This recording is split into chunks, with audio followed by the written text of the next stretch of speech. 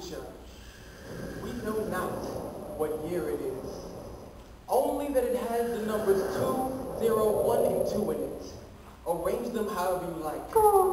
Look, out over the landscape, there are no real niggas left. It is the worst of times. It is the worst of times.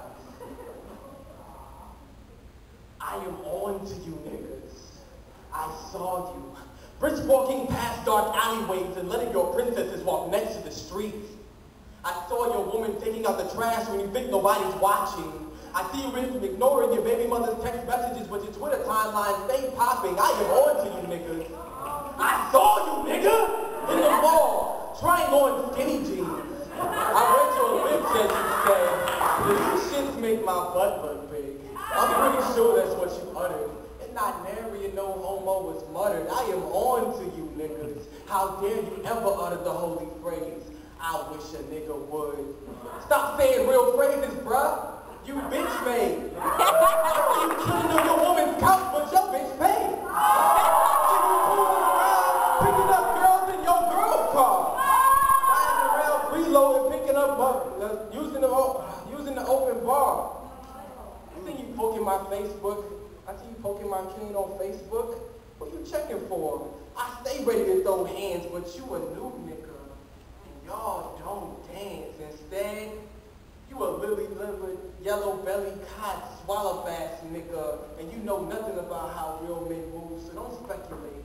If I catch you stepping wrong again, I will have to regulate. I am on to you niggas. See? I see the game home skillet. You want your hands to be picking and pecking the millet while you feed off the high seed. I a cock who likes to cook cock and cook cock and watch the hens and peck, hens pick and peck for his approval, sir. But you, sir, are a rooster, and all I hear is but because to you, sir. All I see is a rooster, and all I can do is root for the farmer. See, I see you, homie. I see you, niggas. I am on to you, niggas, you fucking fakers. Marcus Garvey did not die for you niggas to cry crocodile tears over his grave.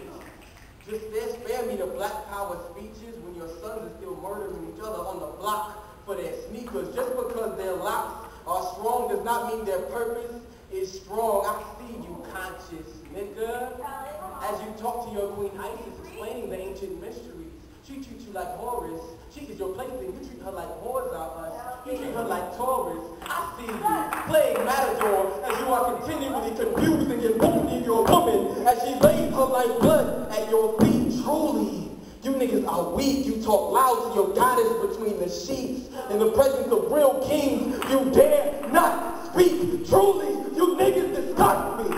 I see you, nigga, and I do not respect you.